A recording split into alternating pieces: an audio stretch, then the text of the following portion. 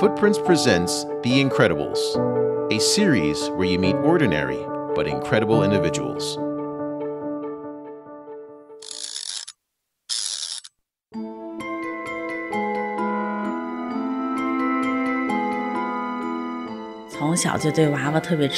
I was, by nature, a fan of dolls ever since I was a child. 就是你一双手，一个剪刀，一根针线 With some fabrics, needles, thread, and a pair of scissors, a figurine is made by hand, using only natural coloring and materials. This technique cannot be found in any other part of the world. 在全世界都没有。一年多的时间，一个也没卖出去。 Not 全部 even 都 one 退了 silk figurine we made was sold in more than a year. 图什么 Can I keep on going? 啊，我叫唐燕。 My name is 是 Tang 北 Yan. 京唐人 I'm the 坊 CEO of 发 the 展有 Beijing 限公司 Tang 的 Ren 创 Fang 始 Culture 人 Development 啊 Company, 是目前 dedicated to making Beijing silk figurines, also known as Tang Wawa or the Tang dolls. For over two decades, Tang Yan has made efforts to strike a balance between innovative designs in figurine making and traditional cultural heritage preservation. From loving dolls to making China's own brand name, Tang Wawa, what's the driving force behind her passion and dedication? What difficulties and challenges has she met along the journey? To find out more, let's tune into this episode of Footprints and hear how Tang Yan has become the mother of the modern yet traditional Chinese doll. Stay tuned.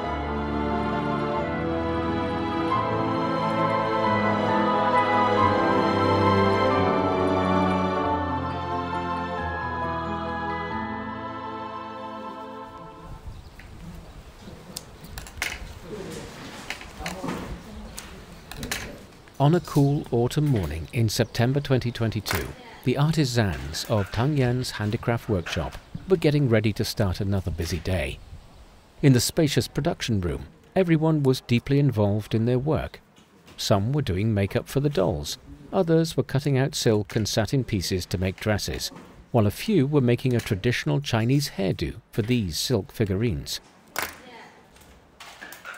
Working in a synchronized pace, these craftspeople form an assembly line for producing Tang Wawa, a modernized version of Beijing silk figurines. This unique traditional Chinese craftsmanship is known as Beijing Zhenren in Chinese. Tang Yan is the principal of the workshop. She pauses here and there to give her students, or rather apprentices, advice and suggestions. At that moment, the rhythmic sounds of sewing, brushing, and fabric cutting are the soundtrack to a scene where artistic and cultural inheritance, restoration, and innovation are taking place before our very eyes.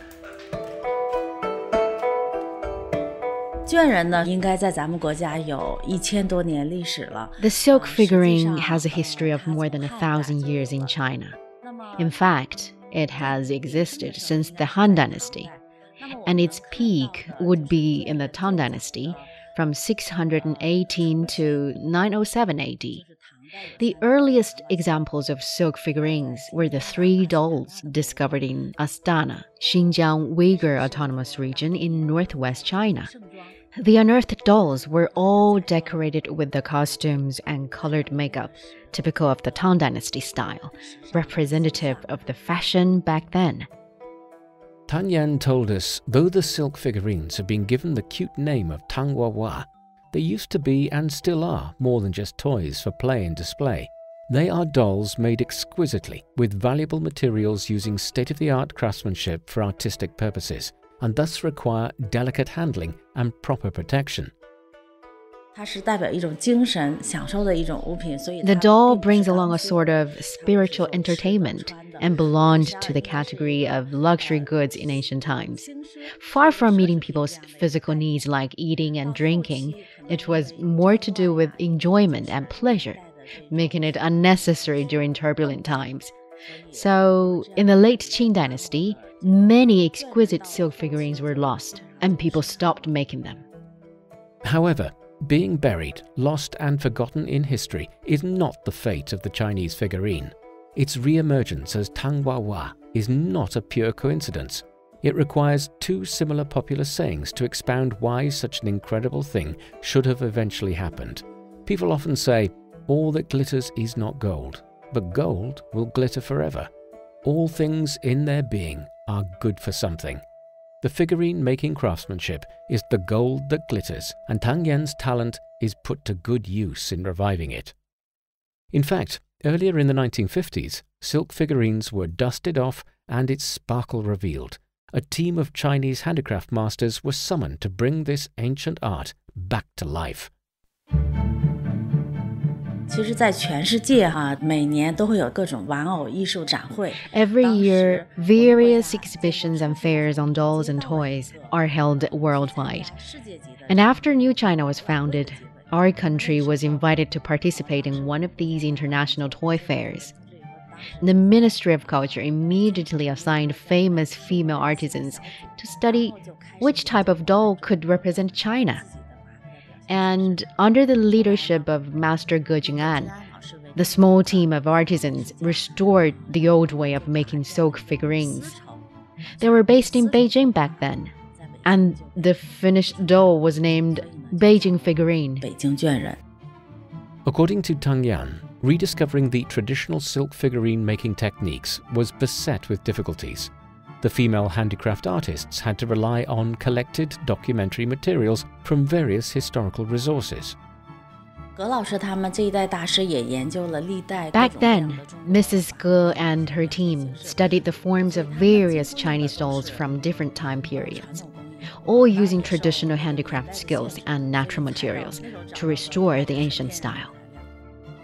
Eventually, they produced five figurines displaying women from different ethnic minorities, which, not surprisingly, were widely regarded as outstanding artworks in their own right at an international doll fair held in India in 1954.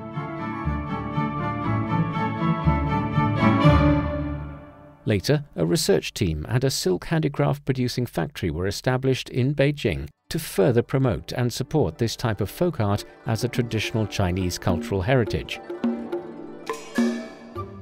Based on historical records and unearthed cultural relics, the team restored and designed many classical figurines depicting male or female characters in folk tales, mythologies, or folk operas.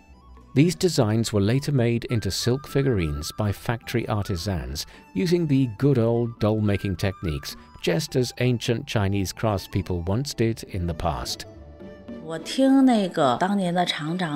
I heard from the factory director that when they were at their peak, hundreds of doll makers used to work together under one roof since the procedures were all completed by hand, which required a large workforce. They received plenty of overseas orders, earning a large amount of foreign exchange for the country at that time. In the 1970s and 1980s, the silk figurine factory was prospering. That was the time when little Tang Yan, around 10 years of age, was dreaming about owning a Yang Wawa, a doll of her own. It is a time when Chinese people were still living with scarcity, and the country was about to embark on economic reform. I was, by nature, a fan of dolls ever since I was a child. I was crazy about them, and sometimes I would freeze on the ground when I saw the dolls I liked in the shop window. Usually, I would cry to my mother and ask her to buy the doll for me.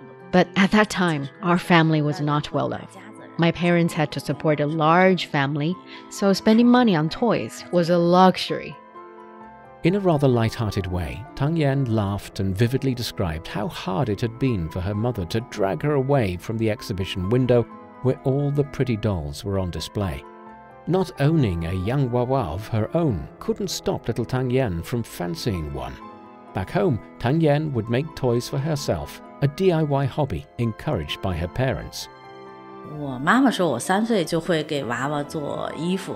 My mother told me that I was making clothes for dolls when I was three years old. So I guess I do have some talents in this regard. And I remember I loved drawing ancient Chinese maidens when I was young. My father has kept some of my drawings from age 10 to 13 in an album.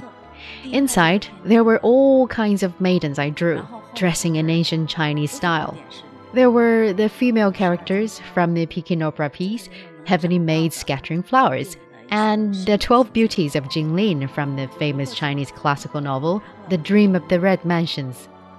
The drawings and paintings have become Tang Yan's cherished childhood memories. They brought her great satisfaction when she was a little girl and prepared her for a job in IT programming after growing up.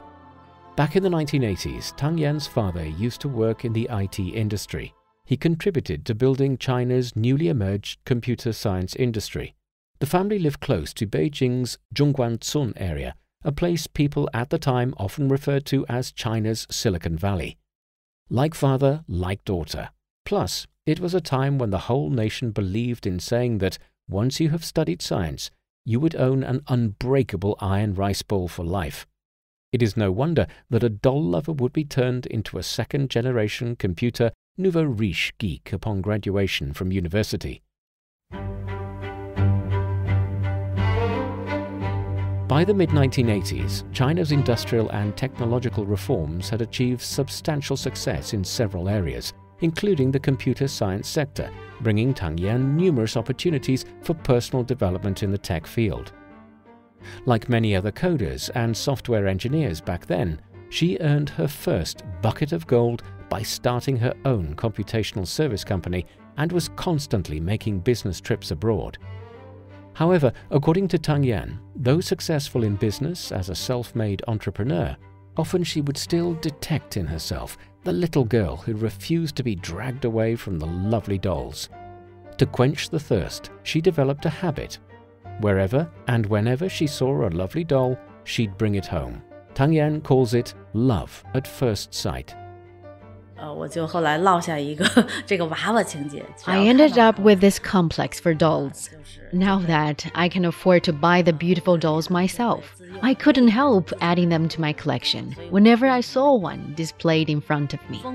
So I later on became a crazy doll collector. And if I went abroad or traveled around and saw one that I really like, I would take the doll out of the shop window and bring it home, even if it was dusty and old. Among her collection, there were famous dolls such as Barbie dolls from the US, Ningyo dolls from Japan, and Bisque dolls from Germany. But there wasn't one which had been made in and from her own home country, China. Growing up, we used to call the dolls Yang Wawa, or literally overseas dolls in English. The term itself in Chinese already has an underlying important meaning. Yet, for all these years, I've never really owned a doll that could be called a Chinese doll. So back then, I couldn't help but wonder why do we have no doll of our own in China? Even after the question had formed in her mind, Tang Yan still had no idea that in the future she would be the one to fill up the vacancy in her collection with authentically and artistically made Chinese dolls. Before that day came, she had indulged herself and tried her best to share her passion and her collection of dolls with others. The more the better, and the happier she became. In the mid 1990s, China was deeper into its economic reform.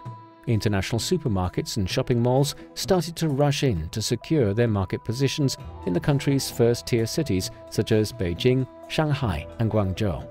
That was when Tang Yan was approaching her 30s. One day, she spotted a picture of a doll in a display window in one of the shopping malls in Beijing. It was an image that shocked her and quickened her heartbeat. Dressed in a full set of white Peking opera costume and matching makeup, the figurine lit up Tang Yan's eyes. I went weak at the knees, staring straight at that doll. I asked the shop assistant which doll it was and who made it. She checked their displaying record and told me. It was called a silk figurine and had been made by an artisan named Yang Naihui from the Beijing Silk Figurine Factory.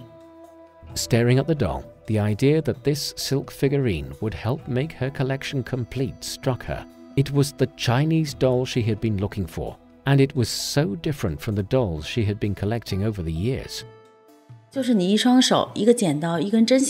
With some fabrics, needles, thread, and a pair of scissors, a figurine is made by hand using only natural coloring and materials. So, unlike plastic or porcelain dolls, it is hard to mass produce. Meanwhile, China has been known for its fine silk and silk trading since ancient times. And this technique of making dolls with natural silk cannot be found in other parts of the world. It is a Chinese doll, authentic and unique. With the help of the shop assistant, Tang Yan decided to track down the silk figurine factory without hesitation, hoping to be able to meet with Yang Nai the craftswoman, in person. In the 1990s, the silk figurine factory was basically shut down. The cost of natural materials rose rapidly, which made it difficult to export the dolls. The doll makers were dismissed, and there was only one member of staff left when I got there, guarding and managing the warehouse before the dolls inside were moved elsewhere. He told me Mrs. Yang Naihui had gone home long ago and allowed me to look through the silk figurines in their warehouse. I picked 10 dolls and bought them all.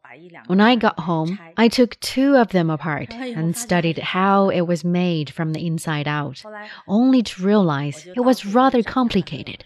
At that time, I wanted to learn the skill, and I had to find Mrs. Yang Naihui. Without smartphones and modern chat apps we take for granted today, looking for a person with so little information was like searching for a needle in a haystack. After months of door knocking and name card distribution, a phone call arrived. It was Mrs. Yang Nai Hui. She wondered why an IT girl like me would want to learn skills from her. But she was happy when she heard about how much I love dolls and my passion for traditional arts and culture. She was really nice and said she would love to teach me. With that phone call, I abandoned my career in computer science and threw myself into silk figurine making. At the turn of the century, switching jobs from the promising technological sector to the rather laid back and sluggish traditional handicraft field was a rarity, and to most people, an incomprehensible move. But for Tang Yan, making such a decision wasn't a struggle. She is grateful for her family's unconditional support. My parents, my husband, and even my son were very supportive of my decision. They all know about my so called doll complex and would spoil me with a gift doll every year when we celebrated my birthday. My husband even went further and let me do whatever pleased me and not to worry about the financial income. So they all encouraged me to do what my heart longed for. With a clear aim and high morale, Tang Yan wasted no time in taking action. With her savings, she bought a big apartment as a workshop and managed to gather six people with similar interests around her. They became students of Yang Nai Hui and another artisan, Jia Xiaopu, who later joined the team as a teacher. But things turned out to be much more difficult and challenging than expected.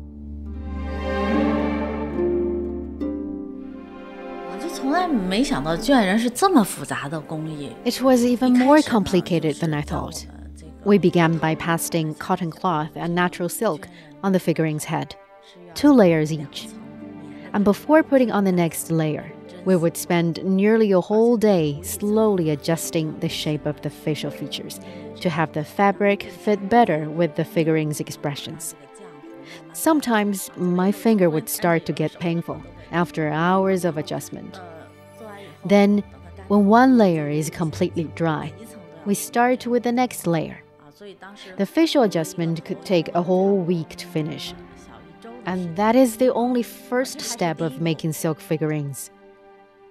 Making a silk figurine usually involves 12 steps, each requiring sophisticated skills and ingenious craftsmanship, with gauze and cotton as flesh and metal wire as bones. The figurine is usually lined in silk from head to toe, and the head alone could take up to two months to complete. Though everyone was faced with such a daunting task, Tang Yan's obstinacy in character, talent in painting, and passion for dolls helped her to excel amidst frustrations.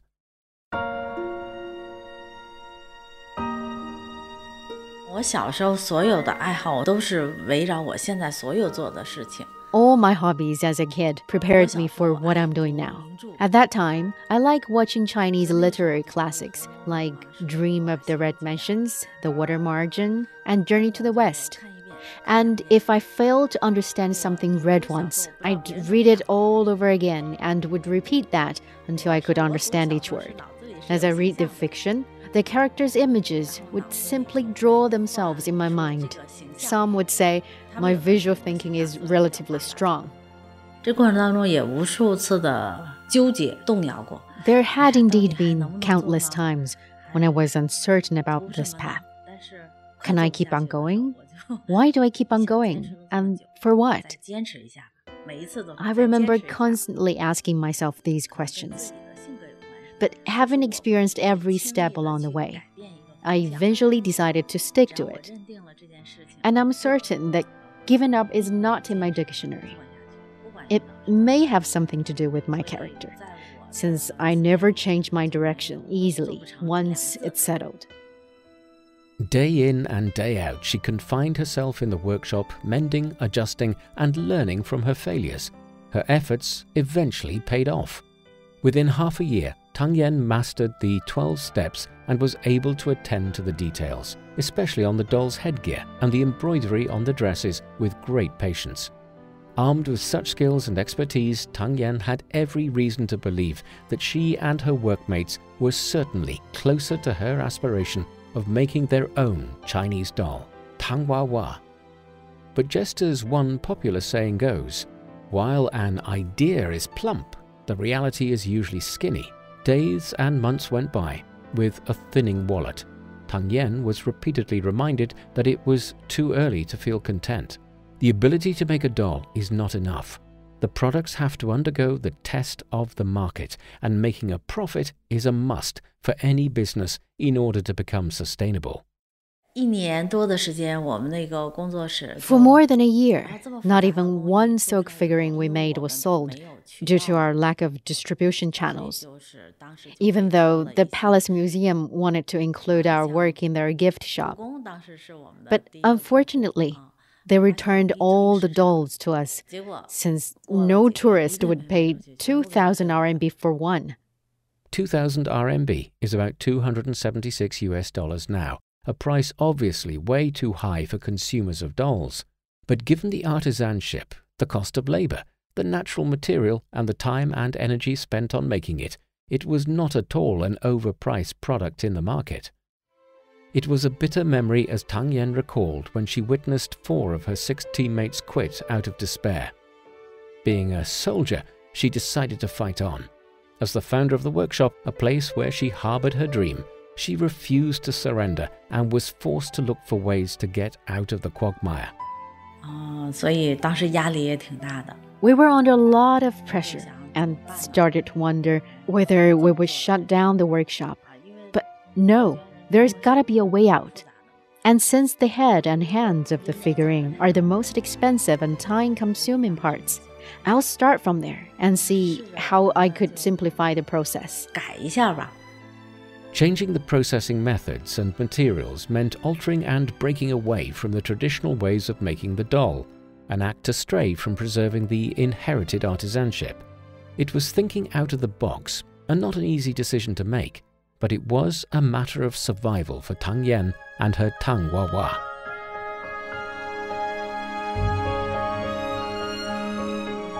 Luckily, once more, Tang Yan got full support from her family.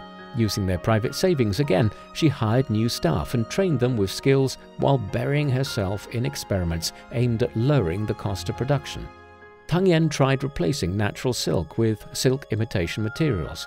In order to shorten the time-consuming procedure of manual drawing and painting, she bought a digital printer for the team. The most difficult step was making the doll's head and forming the details of its limbs.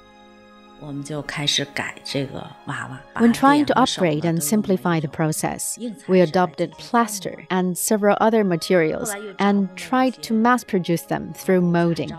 We also recruited more handicraft staff and a mold maker to help design and conduct experiments on the different modes to achieve the ideal results.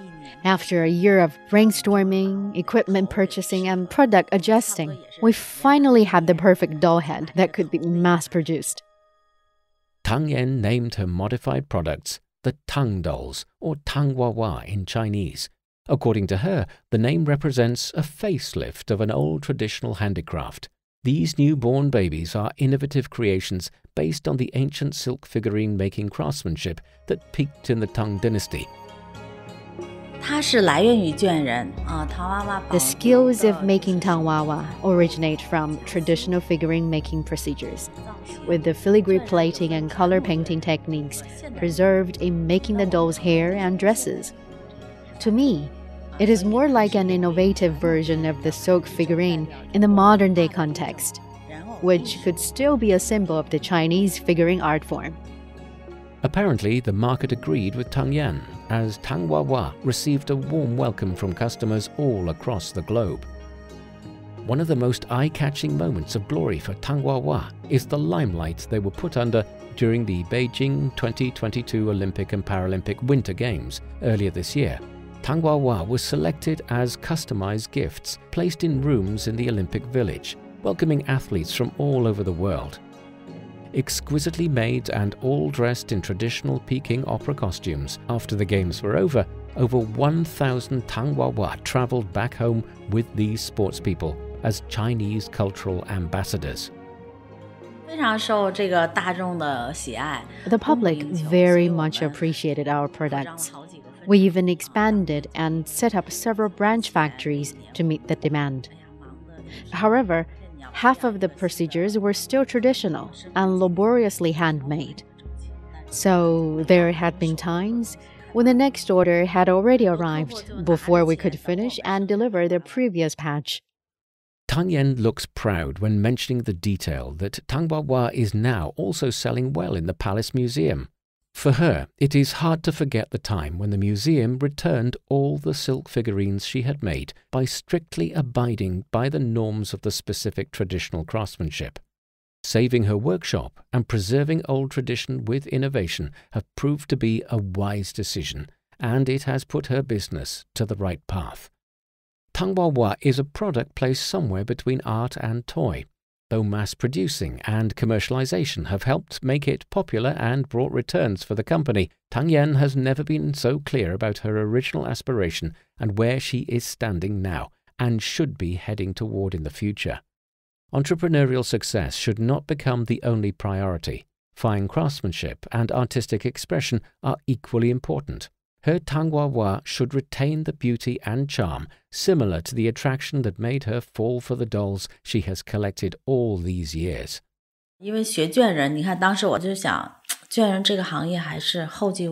I started by learning how to make a silk figurine. Although Tangwawa has hit the market pretty well nowadays, this traditional handicraft line still lacks younger blood for further promotion and inheritance. But then, an opportunity came to me when I was sent for a public welfare project to Guizhou province over a decade ago. In between the mountains and waters of China's southwest Guizhou province, Tang Yan came across the local girls of the Miao ethnic minority group. Clear in mind and skillful in hand, many of the girls learned from their mothers and grandmothers to make crafts at a very early age. Some of them could even make their own clothes.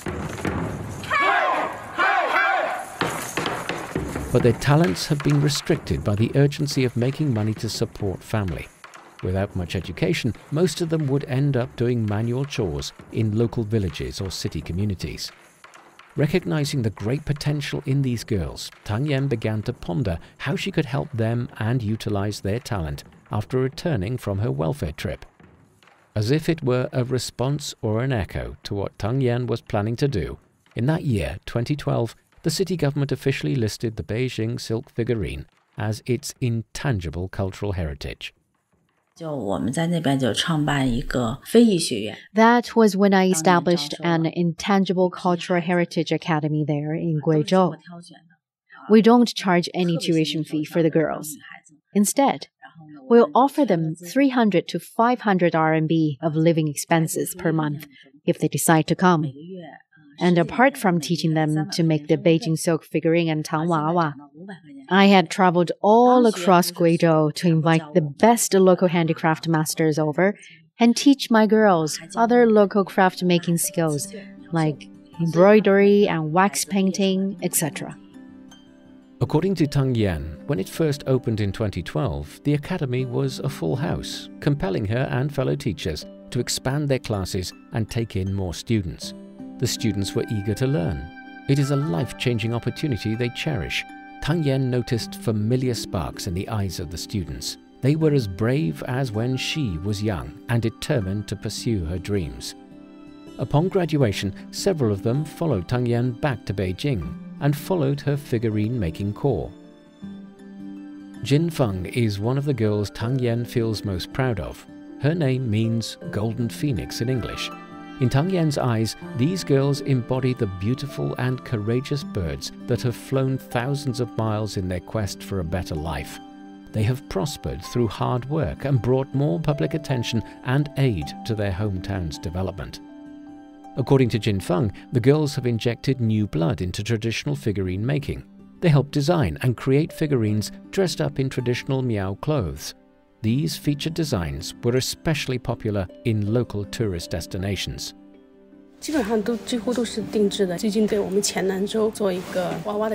Many of our clients would request customized designs. After our ethnic group series of silk figurines and Tang Wawa became popular. Throughout the journey, Ms. Tang has been very nice, but at the same time, strict with the quality of our work. Since we now needed to follow closely according to the client's requirements when making the dolls.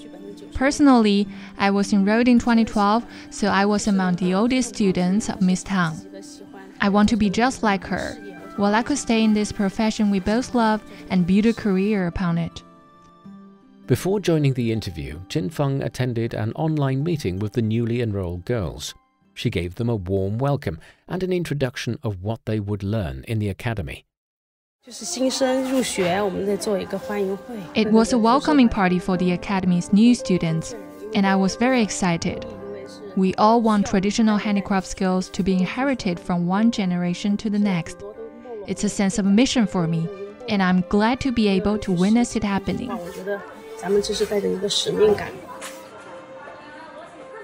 Hearing what Jin Feng was saying, Tang Yan looked up from her work, tutoring a young craftsperson. She smiled in silence, being careful not to disturb the attentive artisans and not to disrupt and break the pleasant ambiance of sewing, brushing, and painting in the air. We left the workshop and went to the museum next door. Inside the museum, we saw the dolls and silk figurines Tang Yan inherited from her predecessors and dolls handmade and collected from elsewhere.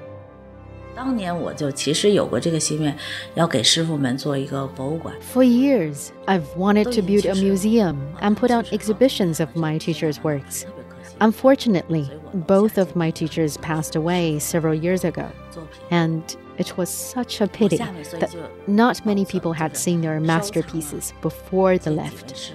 So, in my museum, I display a lot of their works. When her eyes alight on her beloved dolls, Tang Yan becomes excited. Shuttling in between rows of exhibitions, she points at different dolls and proudly shares with us their history and background stories. See this one? It's a gift from my son, she says.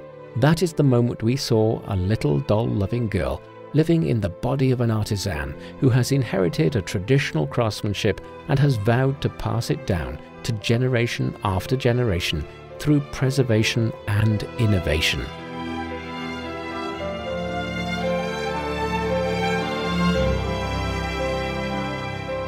With that, we conclude this episode of Footprints.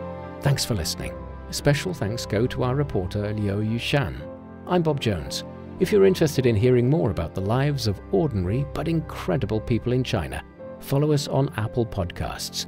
Just key in Footprints, and you can find more stories anytime, anywhere. We'll see you next time. Bye for now.